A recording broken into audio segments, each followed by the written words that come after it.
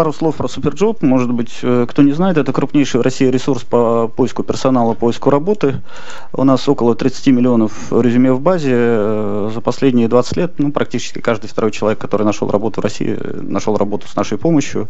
Через нас проходят огромные потоки информации, поэтому вот, ну, есть немножко циферок, а, о которых есть представление, о которых мы можем поговорить. И поэтому, переходя к рискам, смотрите, что происходит. Яндекс объявил, что к 2022 году уже, или даже к 2021 выведет э, тысячу две беспилотных такси на рынке Москвы. Может быть, это произойдет быстрее. Это только один Яндекс, есть еще другие компании.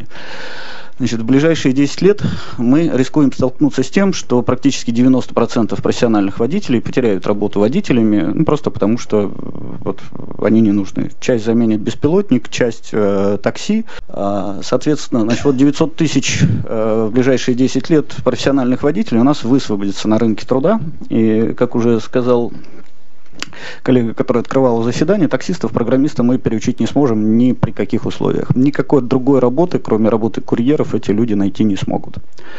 Это вот одна история. Да? Э, в связи с э, изменением большим таким транспортной отрасли, значит, перестанут люди покупать личные автомобили, ну, потому что это не нужно, не рентабельно, а мы будем покупать сервисы, соответственно, грубо говоря, все, компа- все автомобили в стране личные будут принадлежать, ну, там, трем, четырем, пяти компаниям. Значит, это полностью, полное изменение рынка страховки, полное изменение рынка рекламы, где э, автоконцерны являются основными сказать, рекламодателями. То есть там тоже люди будут терять работу, будут большие перестройки. Это вот минимум просто в транспортной отрасли. Значит, для того, чтобы сократить количество бухгалтеров в экономике, просто рабочих мест в 10 раз, нам нужно максимум 3 месяца от сегодняшнего дня. То есть не 3 года, не 30 лет, 3 месяца. Регуляторно к этому все абсолютно полностью готово, технологически к этому абсолютно все полностью готово. А, если, например, Сбербанк примет решение, что он больше от юридических лиц не принимает бумажки, а все переходят исключительно на ИДО, а подчеркиваю, ИДО, электронный документооборот, уже где-то сейчас порядка семи компаний используют эти функции. Значит, вот принимает решение Сбербанк, следом все остальные. В течение э, трех месяцев 90% бухгалтеров теряют работу. А бухгалтеров у нас, э, ну, по разным оценкам, там тоже за миллион стране. Вот еще куда-то. Значит, из большинства бухгалтеров, которые на самом деле не бухгалтера, а такие делопроизводители, это люди, забивающие первичные какие-то данные в ту самую 1С, работающие с актами, счета, фактурами, их программисты и в бизнес-аналитике тоже переучить не удастся. Вот вам просто еще массовая специальность, э, с которой в ближайшее время что-нибудь обязательно произойдет. Значит, еще один момент. Просто я сейчас про массовые специальности, потому что касается очень-очень многих. Э, например, учителя иностранных языков. Никакого смысла преподавать иностранные языки в обычных школах на сегодняшний день не существует. Вообще никакого, ни для каких целей.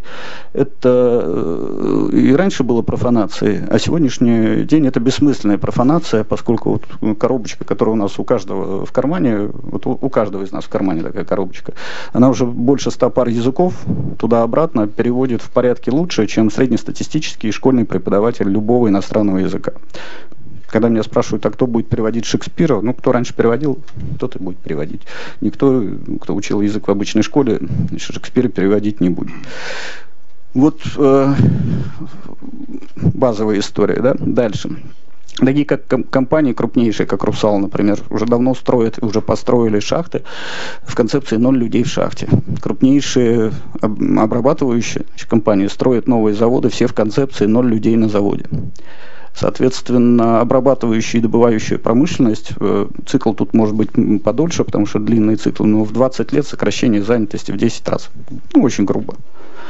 И там, и там. То есть в связи с э, тем, что идет роботизация и цифровизация, большое количество людей, эта реальность будет высвобождаться, э, и те э, процессы, которые, например, еще 100 лет назад, 200 лет назад, 300 э, лет назад, они растягивались на сотни, на 2-3 сотни лет, там, строительство мануфактур, промышленная революция, она не в день произошла, то цифровая революция, вот это происходит очень быстро. И, соответственно, риски э, большого высвобождения людей, которых, э, ну, как бы непонятно куда девать. При этом, ну, какие-то вещи есть понятные, вроде просили не говорить о, о том, что с этим делать, но мы будем, конечно, сокращать рабочую неделю. Ну, не до четырех дней, а скорее пойдем по пути сокращения рабочих часов в рабочем дне. То есть в ближайшие 10 лет офисы, госпредприятия, бюджетный сектор сократит рабочий день до 7 часов как минимум в день, может быть, до 6. Ну, таксисту придется работать, может быть, чуть меньше. Это вопрос регуляторики, минимальной зарплаты и так далее. Вот. Я думаю, что мы все-таки будем вынуждены приступить к пенсионной реформе, потому что повышение пенсионного возраста – это бред, на мой взгляд, не решающий никаких проблем. И само понятие пенсионный возраст в том виде, в котором мы его знаем, оно устарело, его нужно отменять, переосмысливать вообще всю эту историю. И вот здесь вот мы будем говорить о том самом базовом безусловном доходе, как, по каким причинам его будут получать люди, но мы к этому придем. А для того, чтобы стратегически нам сократить риски, нам нужно кардинально менять систему образования, а, потому что цифровая экономика требует, ну, скажем так, цифровых людей. Что такое э, цифровая экономика? Это медицина плюс математика, сельское хозяйство плюс математика, Государственная Дума плюс математика и все что угодно плюс математика. С математикой у нас все очень-очень плохо. И никаких перспектив при текущем подходе, что будет чуть лучше, не существует. У нас есть государственная программа развития образования Российской Федерации. Э, кто-нибудь из здесь присутствующих знаком с этим документом определяющим? Есть такие? Вот, поскольку большинство не знакомы, я заканчиваю, просто позволю себе зацитировать цели, которые у нас задекларированы на государственном уровне, там под них миллиарды, миллиарды, миллиарды, и дальше э, расписаны по бюджетным статьям. Секундочку. Цели программы и их значение по годам реализации. Цель номер один – качество образования, которое характеризуется, двоеточие, сохранением лидирующих позиций Российской Федерации в международном исследовании качества чтения и понимания текста PIRLS, а также в международном исследовании качества математического и естественно-научного образования TIMSS. Повышение позиции Российской Федерации в международной программе по оценке образовательных достижений учащихся ПИЗа не ниже 20 места 20 места в 2025 году.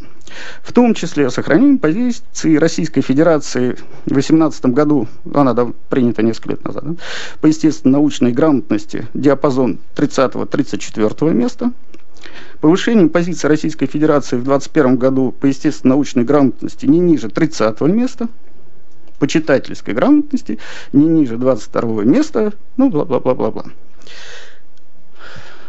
Значит, Все понятно, да? Значит, где мы находимся а, и какие цели мы перед собой ставим. Значит, я, когда это читаю, э, все время говорю, вот приходит сын к маме и говорит, мам, знаешь, я тут жениться хочу. А, вот э, меня э, в рейтинге блондинок устроит 30-я позиция претендентов. А вот в рейтинге у брюнеток я согласен на 24-ю позицию. А вот у шатенок там где-то там, значит, вот тоже 30 место меня устроит. Мама говорит, знаешь, сынок, тебе со второго-то не очень чего светит. Вот. А с 34-го, ну, вообще ничего.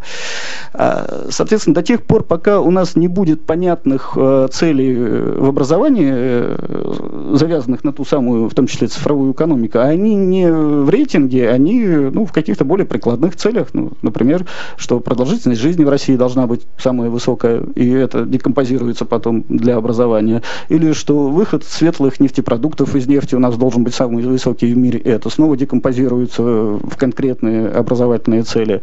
Вот, э, ну, все что угодно, но только не цель, позиция 34 в рейтинге, ну, потому что как-то вот для Российской империи 34 место или даже 28 э, ну как вот ребенку объяснить э, или родителям, что они должны вкладываться в то, чтобы быть 20-м? Да никак.